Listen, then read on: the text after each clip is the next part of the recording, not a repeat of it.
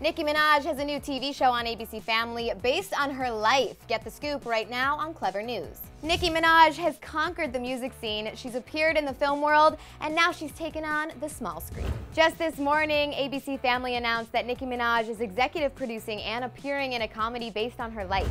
The half-hour television show will focus on her family's emigration from Trinidad and Tobago, and then her childhood in Queens, and of course her rise to fame.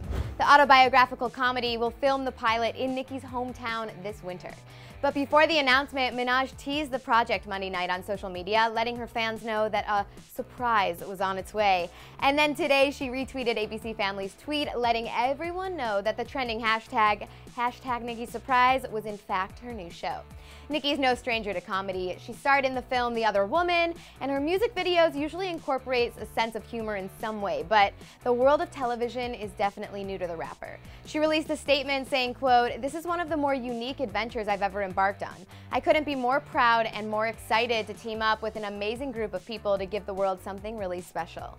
Now, not everyone knows that before rapping, Nicki initially wanted to become an actress and studied at the city's famous LaGuardia High School. This seems like a great next step in her career, but what do you guys think? Will you watch the show? And who should play Little Nicki? Cast it and let me know in the comment section below. Don't forget to subscribe and then click here to check out Beauty Break Rainbow Hair Field Trip. Uh, don't miss that one. Thanks for watching. I'm Danielle Robay, and I'll see you next time. Click to the left to check out Nicki's rise to fame, or click to the right for the four worst celebrity feuds on Debatable.